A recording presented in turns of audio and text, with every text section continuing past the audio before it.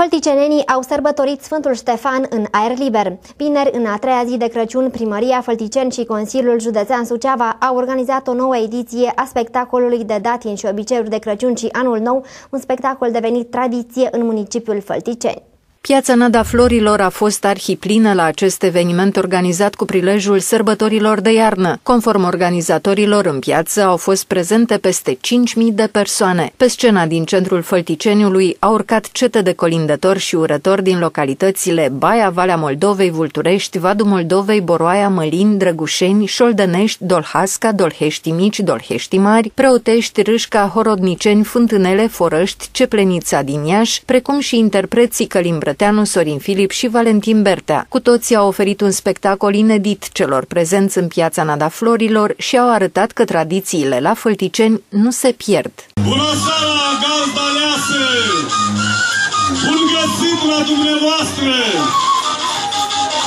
Ia că au trecut un an de când n-am murat la geam.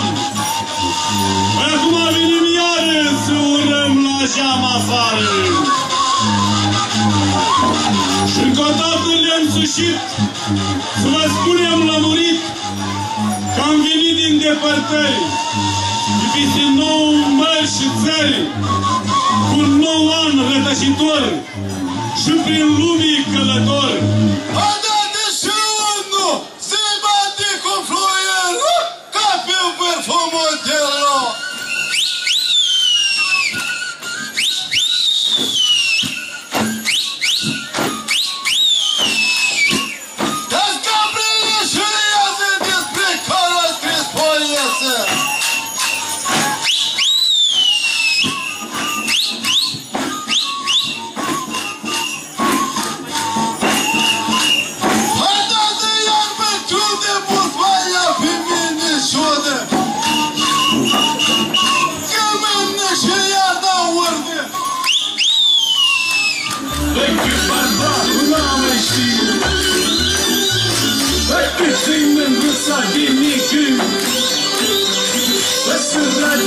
Максим, Максим, жив!